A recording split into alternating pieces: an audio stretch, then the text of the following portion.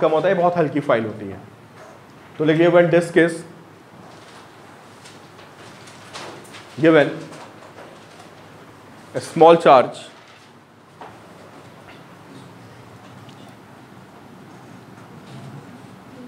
gold leave separate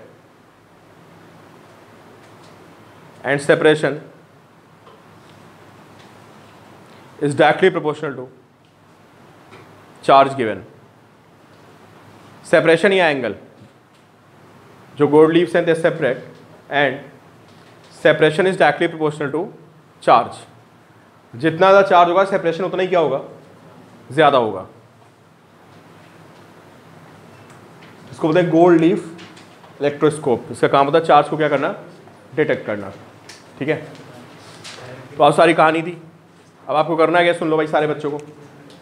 chapter की शुरुआत हुई है, ठीक है? कुछ बच्चे बोलते हैं, सर चैप्टर समझ में नहीं आ रहा है। है ना? तो आपको करना क्या अभी? कोई बुक नहीं उठानी है आपको, सिर्फ़ एन उठाना है, ठीक है?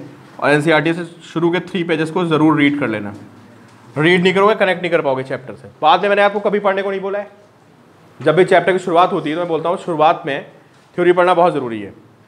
इवन आप सिंगेज को भी फॉलो कर सकते हो, उसमें ये सब दिया हुआ है। पढ़ के ज़रूर आना नेक्स्ट टर्न पे। ठीक है? नेक्स्ट टर्न पे मैं आपको थोड़ा सा वैक्टर्स कराऊँगा, क्योंकि अभी इसमें फॉर्मूला आने वाला है कोलॉम्स लॉ कल आप क्लास करोगे कोलॉम्स लॉ जाएगा, दो चार्जेस के बीच में फोर्स फिर वेक्टर एडिशन और उससे फिर कॉम्प्लेक्स प्रॉब्लम शुरू हो जाएँगी। तो आज की कहानी थी। कल से आप बैठोगे तो आपको सब न्यूमेरिकल्स न्यूमेरिकल्स न्यूमेरिकल्स ही चलेंगे इसमें। ठीक है? तो थोड़ा सा क्या करोगे आप? एक तो ये पढ़ के आओगे एस के पेजेस एक गोल्ड लीफ इलेक्ट्रोस्कोप तक। ठीक है? सिंगेज पढ़ लेना। सिंगेज है किसी क्लास अभी ये वाली खरीद ली? लो बताएँ। कंटेंट सब में एक जैसा ठीक है? Even you can follow NCERT हाँ?